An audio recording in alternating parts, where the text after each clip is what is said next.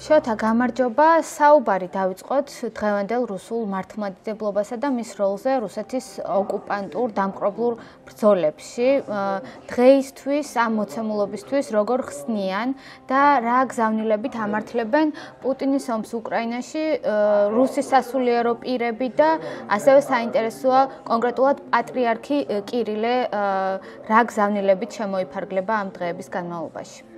მივესალმებით თქვენს მაყურებელს პირველ რიგში აი რუსეთ-უკრაინის ომის და რუსეთის უკრაინაში შეჭრის შეჭრას თვალყურს პირდაპირ ვადევნებთ ჩვენ და აქ ხედავთ როგორ იმსხრევა ათწლეულების და ბოლო რამდენიმე 100 წელიწადში ნაშენები მითი ერთმორწმუნე უფროსი ძმის და უფროსი ეკლესიის მიმართ. ჩვენ ხედავთ რას აკეთებს რუსეთის რუსეთი, რუსეთის პოლიტიკური ხელისუფლება და ამავდროულად როგორ ამართლებს ამას ეკლესია, ანუ რა ფორმას უძებს. არსებობს ესეთი ტერმინი პოლიტიკური მართლმადიდებლობა. და ჩვენ ახლა ვხედავთ კრემლის პოლიტიკური მართლმადიდებლობის შექმნილ ნარატივს, რომელიც აწლევლების განმავლობაში იქნებოდა განსაკუთრებით ბოლო 2-10 წელიწადია და ომის ვლადიმერ პუტინი საუბრობდა უკრაინაში მოსკოვის საპატრიარქოს დაქვემდებარებაში მყოფი მართლმადიდებლების დაცვაზე. ამავდროულად პატრიარქი კირილე გამოდიოდა და საუბრობდა აი ბოლო კვირას, შენდობის კვირა დღეს, როდესაც უკვე მარხვა იწყებოდა, დიდი მარხვა იწყებოდა, ისაუბრა რომ ოკუპირებულ ტერიტორიებზე, რომელიც რუსეთმა, რუსეთის სამხედროებმა 2014 წელს დაიკავეს, იყო მცდელობა დასავლეთისგან ჩატარებულიყო გეი ალბომები და ეს მითი, რომელიც წლების განმავლობაში იქნებოდა და აპელირება ხდებოდა სულ აი ტრადიციებზე, მაგალითად ოჯახის იდეაზე, რომელიც რომლის მცველად ევლინებოდა მართლმადიდებლობა და განსაკუთრებით ყველაზე ძლიერი პოლიტიკურად და ფინანსურად და იდეოლოგიურად რუსეთის მართლმადიდებელი ეკლესია, ეს არის ერთ-ერთი ყველაზე ძლიერი თეოლოგიური ფუნდამენტი და სარჩული აი ამ ომის გასამართლებლად. უკრაინის რელიგიური რუკა გაცილებით მრავალფეროვანია. უკრაინაში ჩვენ ხედავთ, ისინი არიან დიდი ნაწილი არიან უკრაინელები მართლმადიდებლები, თუმცა არსებობს ასევე გრეკო-კათოლიკური ეკლესია, რომის კათოლიკე ეკლესია, თუმცა მართლმადიდებელი ეკლესია იქ არ არის ერთიანი. არსებობს უკრაინის დამოუკიდებელი მართლმადიდებელი ეკლესია, რომელიც 2018 წელს კონსტანტინოპოლმა აღიარა და მიანიჭა მას ტომოსი, რომელიც სამწუხაროდ ჯერჯერობით საქართველოს მართლმადიდებელი ეკლესიას არ უღიარებია და არსებობს რუსეთის საპატრიარქო მოსკოვის საპატრიარქოს დაქვემდებარებული უკრაინის მართლმადიდებელი ეკლესია, რომელიც ფაქტიურად გარკვეულწილად ერთგვარი გავლენის სფერო იყო, გავლენის მატარებელი კრემლის იდეოლოგიური პოლიტიკისა.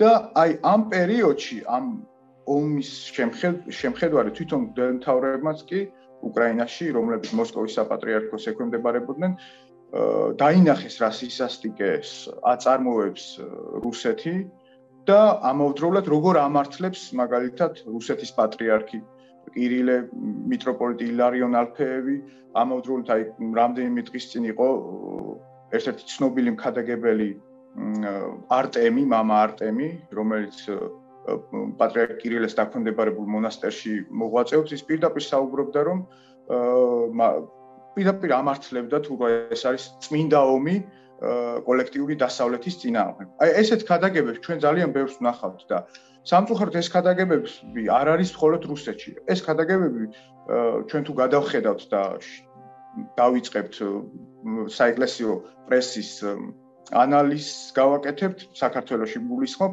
ძალიან ბევრ საეკლესიო ლიტერატურაში და რელიგიურ ლიტერატურაში მათ შორის მართლმადიდებლურ წყალებში მართლმადიდებლურ ციგნებს ნახავთ სწორედ აი მითებით შექმნილს, რომელიც ადამიანების გონებაში, მართლმადიდებელი მორწმუნეების გონებაშიც იკავებს ადგილს, როდესაც ჩვენ ნახულობთ, კითხულობთ, როდესაც ეს ვრცელდება. ჩვენ ხედავთ დანგრეულ ტაძრებს სოციალურ ქსელში უკვე ვრცელდება თუ როგორ მოურიდებლად იბომბება და ინგრევა ტაძრები უკრაინის ტერიტორიაზე. მათ შორის რუსმა სამხედროებმა მოკლეს ერთი სამხედრო კაპელანი, სასულიერო პირი. ჩვენს ეკლესიაში არის პოზიციები გაყოფილი, ხო, რაღაც სასულიერო პირების ნაწილმა რაღაც გარკვეულწილად გაბედულად ისაუბრა, სოლიდარობა გამოუცხადა უკრაინელებს, აა არის ასევე რაღაც ნაწილი სასულიერო პირების რომლებიც ფაქტობრივად ვერ ბედავენ ხმის ამოღებას ანუ სულაც პირიქით მათ აქვს გარკვეულწილად რაღაც კუთხით უნება რუსულ მართლმადიდებლობის მიმართ, ამ შემთხვევაში რუსულ პოლიტიკურ მართლმადიდებლობის მისამართით და პირიქით უკრაინელებს და დასავლეთს ადანაშაულებენ ამ სამხედრო ესკალაციისა და რუსეთ-უკრაინის ომის მიზეზებად მოხდა ხოლმე. ასევე შეიძლება ითქვას, რომ ძალიან სუსტი იყო ჩვენი პატრიარქის და მათ შორის მიტროპოლიტის შიოს ქადაგება, სამშვიდობო პარაკლისი გადაიხადეს ამ კვირას და რაღაც ჰუმანიტარული დახმარება რაც თავისთავად დასაფასებელია, თუმცა არ არის საუბარი აი მნიშვნელოვანის გზავნილზე, რაც შეუულია საქართველოს ეკლესიის. ეს არის საეკლესიო დამოუკიდებლობის აღიარებაში, ხარიში დაუდგეს ახლად შექმნილ უკრაინის ავტოკეფალურ ეკლესიას. მოსკოვის საპატრიარქო ეს არის რაღაცა მონოლითური სხეული, რომელიც სულ მუდამ ცდილობს იყოს აი კრემლის პოლიტიკური მიზნების ხარდამჭერი და შემსრულებელი. და ამის ძალიან კარგი მაგალითი არის, ჩვენ ხედავთ ფოტოებზე როგორ აკურთხებენ რუსი სასულიერო პირები იარაღს, ტანკებს და ამავდროულად ჩვენ ნახავთ სულ ერთი წლის წინ დაახლოებით გაიხსნა მოსკოვთან ახლოს რუსეთის მთავარი სამხედრო ტაძარი. ეს არის ძალიან დიდი კათედრალი, საკათედრო ტაძარი, უზარმაზარი თანხები დაიხარჯა. ეს არის ფაქტიურად რომ შეხვალთ, ეს არის მთელი დიდებულების წარმოდგება რუსული მილიტარისტული იდეები, რომელიც მან უნდა განავცოს მის მეზობლებთან მიმართებაში და ამ ტაძარში ჩვენ შევხვდებით ერთ-ერთ ფრესკას და ამ ფრესკაზე არის ამ ფრესკაზე ჩვენ ხედავთ რუს სამხედრო ჯარისკაცებს, რომლებიც იყვნენ აფხაზეთის კონფლიქტშიც ჩართული, მათ შორის ცხინვალის რეგიონში და უკრაინაში, დონბასში და ლუგანსკში.